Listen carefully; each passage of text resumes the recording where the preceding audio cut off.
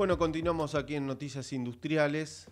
Y hoy es el Día del Amigo y, en este programa estamos recibiendo a un amigo, a Patricio Colombo Mossetti, el eh, presidente del Parque Industrial Pilar, porque eh, más allá de los sectores productivos y la gente que trabaja en el parque, realmente el parque más grande de la Argentina, eh, tiene mucha historia para contar. Así que bienvenido, Patricio.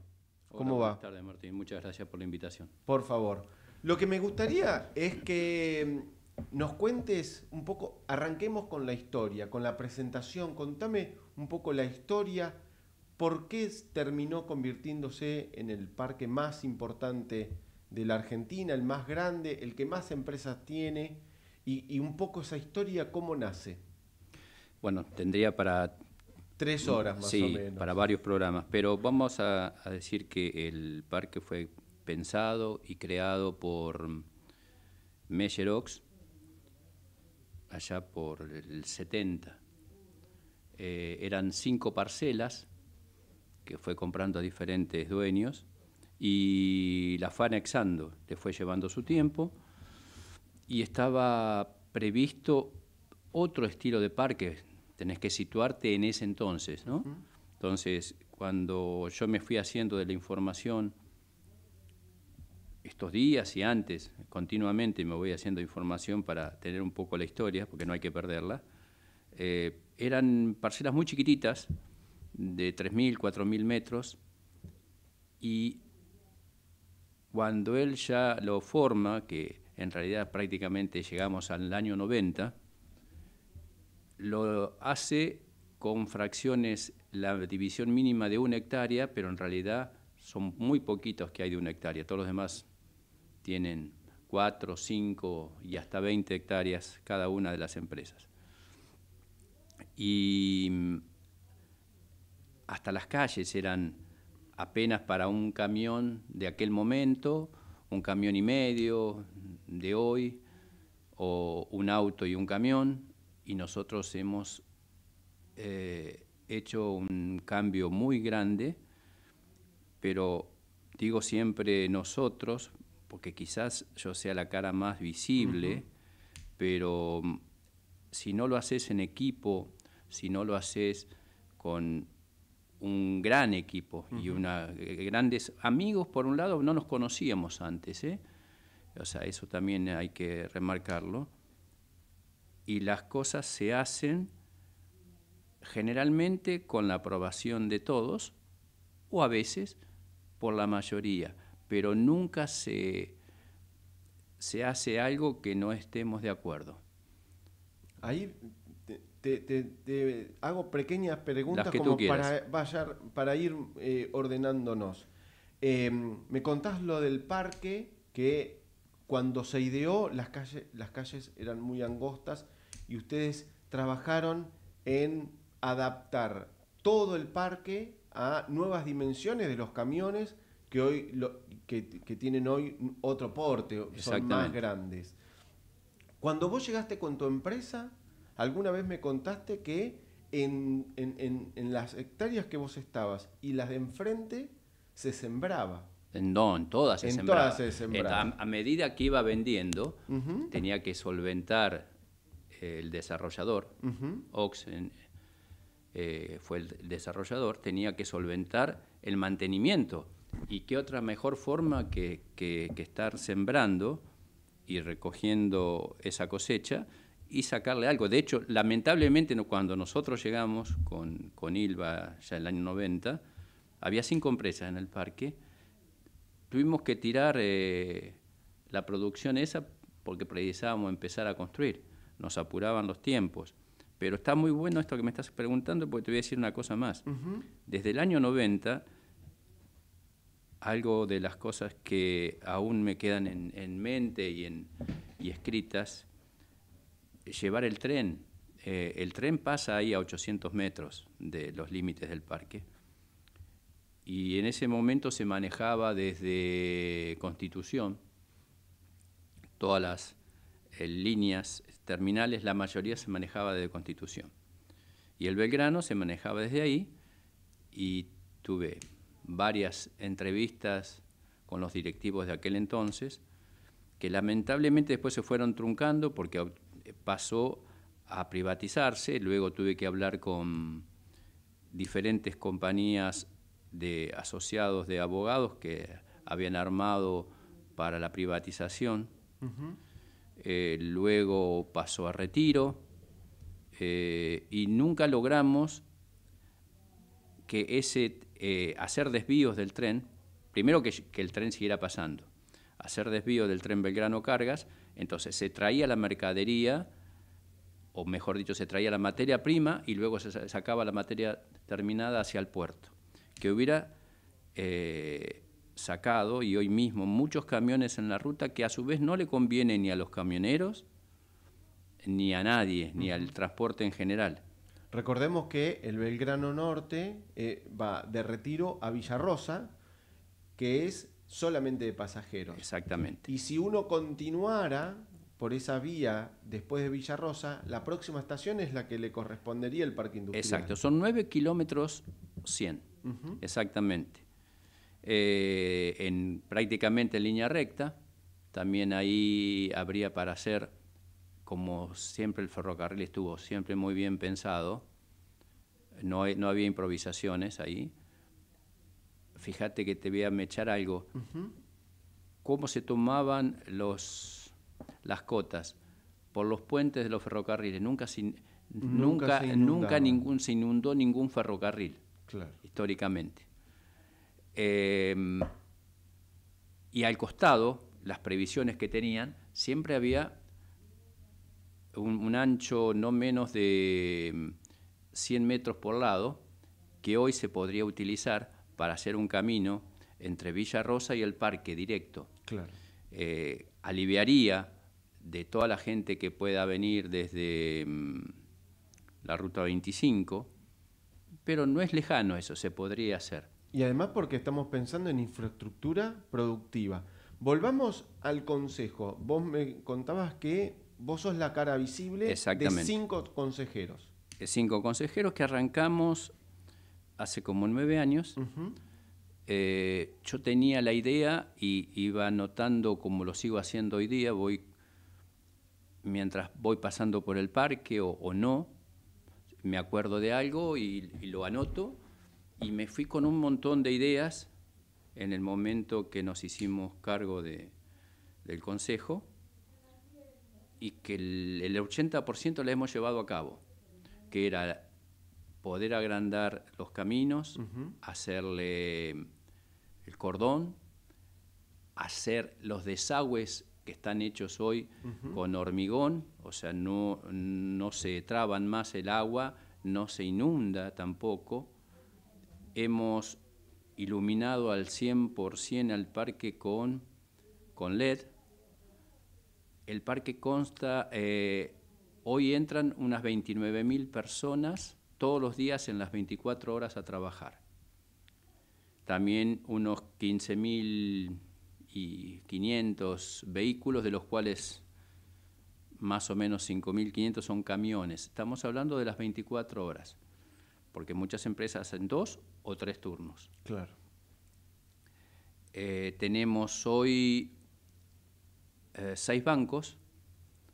Eh, fue algo que quería, que tenía en mente de llevar en su momento el Nación y algún otro banco más. El Nación se logró llevar hace un mes más o menos que se inauguró.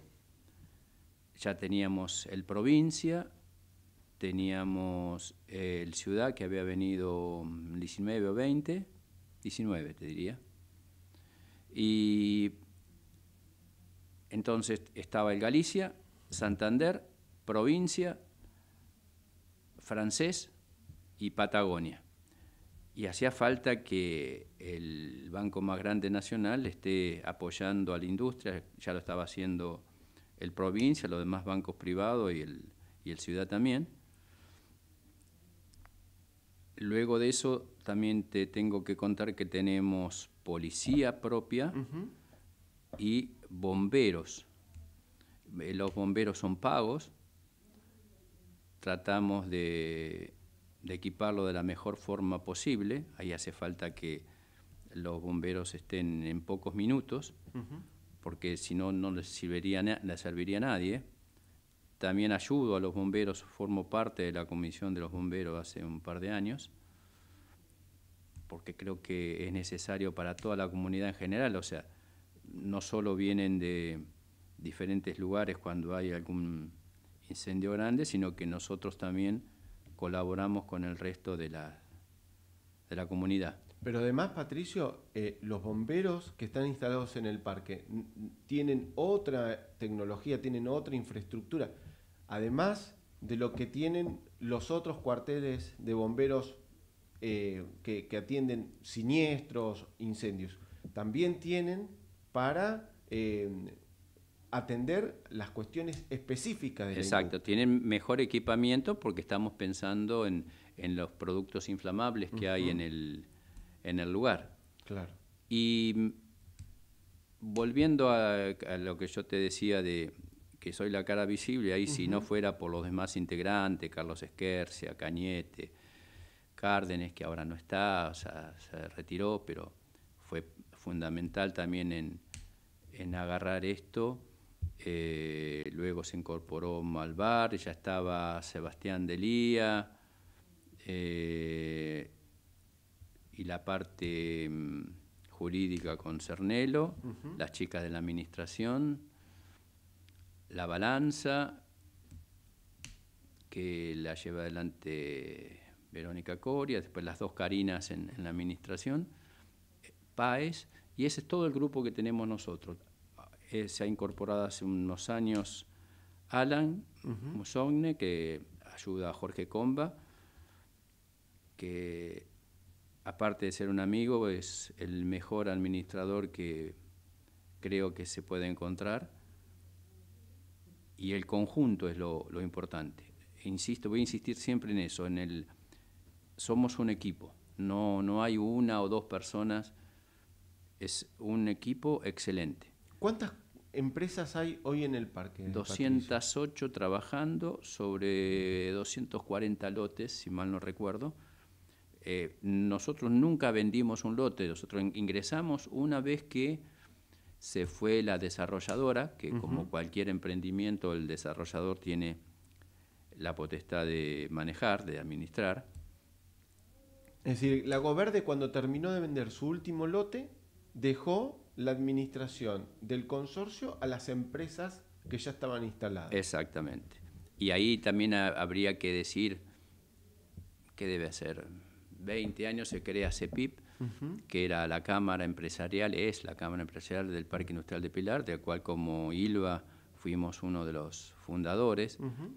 Pero mm, la Cámara en ese momento se crea en función de tratar de poder tener una voz para mm, tener alguna interlocución con, el, con la administración, porque como toda administración en ese momento tenía muchos espacios sin vender y bueno, entonces a veces quizás nosotros veíamos de afuera que no era lo que correspondía. Eh, cuando nosotros agarramos había una sola entrada. Hoy se puede decir que hay cuatro, porque una ingresás eh, por el Petrel, otra por Fátima, la clásica o histórica de... Del kilómetro 60. Del kilómetro 60, exacto.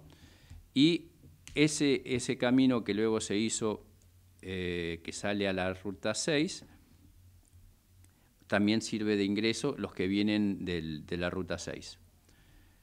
Estamos con el municipio, con Federico Achával, que nos está acompañando y ayudando a ver si podemos lograr hacer Alberniz. Alberniz es la calle que sería, nosotros llamamos del gasoducto, que también une eh, la Frondizi y saldría Ruta 8.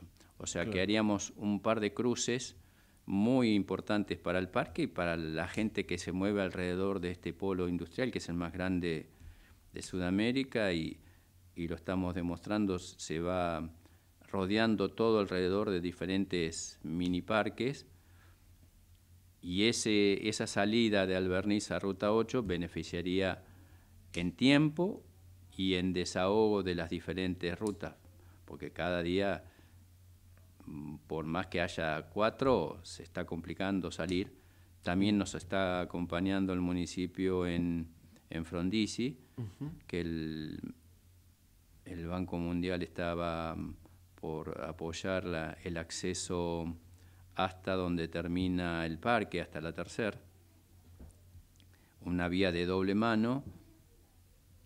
Y nosotros hemos eh, hecho como tareas lo que te dije antes de los desagües, rotondas, que fueron copias que hemos copiado de los parques de Italia y de Alemania, que le dan mucha agilidad. Y evitas poner semáforos como en alguna época existieron que complicaban el, más el tránsito que, la, que lo agilizaban. Tenemos, estamos armando la, la administración, porque en su momento, el, el, edificio en su momento estuvo hecho diferentes locales, tenés que situarte en el año 80 y quizás antes, entonces había un local que estaba el banco alemán, en otro estaba la telefónica, en otro estaba mm, la enfermería y lo que es hoy el, el restaurante era el clubhouse de, del parque. O sea, estaba previsto para que los diferentes dueños luego algunos CEOs eh, de, empresas multinacionales, que en ese momento no estaba tan previsto, tuvieron un lugar de distensión y hasta había eh, un patin green de tres hoyos ahí y una, hasta una pileta de natación, bien lo que eh, a la usanza que luego se usarían en los diferentes barrios cerrados. Claro, y, y uno se pone a pensar lo que eran los 70, los 80 con el pensamiento y lo que es hoy el parque, porque vos contabas que casi tiene 30.000 personas que entran a trabajar y en algún momento esas personas con esos accesos se tienen, tienen que entrar, salir, la cantidad de vehículos. Realmente hay que hacer toda una logística para, para ir a, trabajar y eso necesita mucha infraestructura. Sí, y, y, diferentes herramientas que vamos a tratar de llevarlas adelante quizá va a haber momentos que vamos a tener que cambiar eh, en media hora, en una hora, los, los, los, ingresos. los ingresos y las salidas. ¿Para qué? Al hacer tipo como se hacen los aviones hoy, que vas ingresando los que van más atrás, entran primero. Entran primero. Entonces, y los que vienen, los que están más cerca, entran después. Quizás hay que charlar con el sindicato porque en definitiva lo que ellos pueden decir, no, mira, no, no cambiemos el horario, se lo van a ganar igual en, en tranquilidad en el manejo para no perder eh, el, presentismo o el, horario de ingreso y en tranquilidad de manejo. Entonces, si vas entrando a diferente horario, no se va a congestionar los, los accesos. Claro. No sé qué... Patricio, ahí eh, casi está ya, creo que está abierto, es ustedes lograron la, la, posibilidad de tener en el parque una representación de aduana. Exacto, sí, me había olvidado. Fue otra, ya la, habíamos tenido, ahora como ocho años atrás. Eh, luego con los cambios que hubo en la aduana, que se cambió a aduana de Buenos Aires, aduana del interior, fueron cambiándole el nombre y la, y la zona. Hemos logrado ahora tenerla, ya está montada, ya está habilitada. Estuvieron de prueba la semana anterior y los primeros días, o sea, la, otra semana en agosto, ya empieza a funcionar eh, oficialmente. Contá por qué es tan importante. Y porque mucha gente hace eh, consolida ahí en el parque y exporta desde el parque. Y la idea sería tratar de, mm, de que las exportaciones se hagan de ahí. Eh, para, eh, de hecho lo hacen hoy, pero en, diferentes plantas van a hacerlo. Entonces, antes tenías tú que solicitar que te venga un guarda a verificar. Ahora el guarda sale de ahí desde el parque. Y pueden venir de cualquier lado, ¿eh? o sea, no, no es exclusivo para el parque, es un beneficio eh, para todos. Bien. No, no tenemos mucho tiempo, pero no quiero dejar de, preguntarte, porque vos, además de tu labor dentro de la empresa, dentro tus gestiones dentro del Parque Industrial de Pilar, también tenés otra pasión y que en ese sentido la compartimos, que es Boca. Sí, es cierto. Eh, te diría que ahora se vienen las elecciones. Bueno, Faltan seis meses, ¿no? Sí, es la primera semana de, diciembre. Y ya estamos en, cuenta regresiva. Sí, se está mezclando mucho con la política nacional. Es una lástima que, que los clubes estén en este momento, muchos, con el tema de la política nacional, porque es otro el tema. Los clubes nacen hay que situarse todo en el, en el 1900, ¿no? O sea, tenés que, como así como nos situábamos en el parque, los cambios que hubo, en el 1900 fue hecho, eh, se juntaba un grupo de amigos para jugar a las cartas, al dominó, un picadito, se iban formando equipos, y luego cada uno iba llamando a sus amigos para incrementar la cantidad de personas que se reunían, ahí no se llamaba club, era un, grupo de amigos, y había que llevarlo a la práctica de quién pagaba la luz o cortaba el pasto o se juntaba dinero para hacer una pequeña habitación para refugiarse o para tener un barcito. Y, y, así se crean los clubes. Y cada uno formaba parte de una comisión que era lo que mejor sabía hacer, cosa que hoy no es lo que se está usando en los clubes. Eh, cada uno ocupaba un lugar de acuerdo a su, a, su conocimiento. Y era, por supuesto, sin pensar en una, en una caja. Yo te puedo dar ejemplos de hoy que se está intentando posicionar a, a un muy buen señor, Andrés Ibarra, pero que no deja de ser un empleado de SOCMAS desde los 22 años, luego pasa al Correo Argentino, luego pasa al club como gerente, luego a modernización a la ciudad, luego a la nación. Traducido, un empleado de. Ya ocurrió que posicionaron o intentaron posicionar a Cristian Gribaudo, que luego ya era empleado cercano al, al PRO, y luego en el año 21 encabeza la lista de mm, senadores de la provincia. Entonces, ahora están haciendo lo mismo con Ibarra. Ponen carteles por Figueroa Alcorta, por Libertador, Calle Paraná, son los lugares que yo he visto. Alguna luneta de colectivo. Entonces están gastando en posicionar a una persona que va a no tengo dudas a perder, pero luego lo van a poner en algún cargo municipal o, nacional cuando llegue el momento de, poder colocarlo y ya tiene una cierta trascendencia. Entonces tenemos que volver al club donde no se mezcle la política, que no se use de trampolín. Y habría que lograr que las próximas elecciones sean de tres o de cinco años, para desligarla de la política nacional. Eh, también insisto en que no sé si realmente mucha gente de la que han propuesto era realmente hincha del club. Sí era socia, que se hizo con el tiempo, no tenía mucha antigüedad tampoco.